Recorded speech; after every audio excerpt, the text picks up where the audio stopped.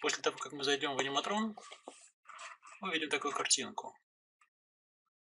Идем в режим экспертов. Нам важна опция анимации. Здесь мы можем изменить размеры. Сделаем размеры нашего холста 100 на 100. Нам не нужна большая оценка. Автоповтор. Для того, чтобы увеличить, нажмем кнопку Z. Теперь придерживая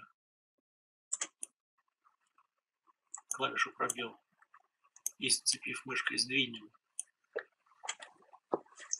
наш канвас вниз, так чтобы он занял максимально возможную площадь. И начнем наше рисование. Выберем кисть. Подчеркнутая кисть называется художественная кисть. Выберем красный цвет. И нарисуем здесь пятерку.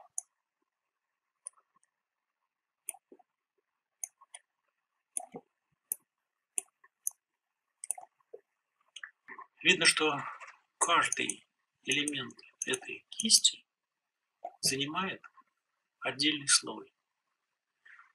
Мы все эти слои выделим, придерживая кнопку Shift. И объединим. Нажав кнопку объединения слоев. Создадим новый слой, в котором изобразим звездочку. Желательно поместить ее в центре.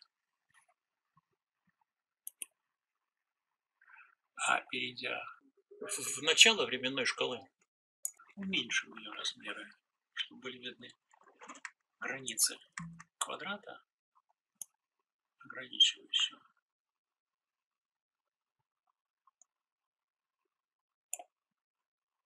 Сделаем вот такой. И вернемся обратно.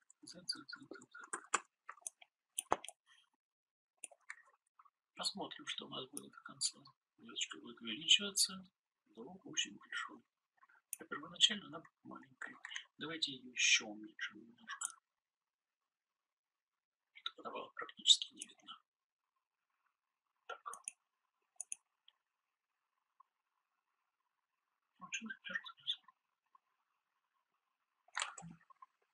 Это у нас была первая часть задачи. Мы сделали наш ролик.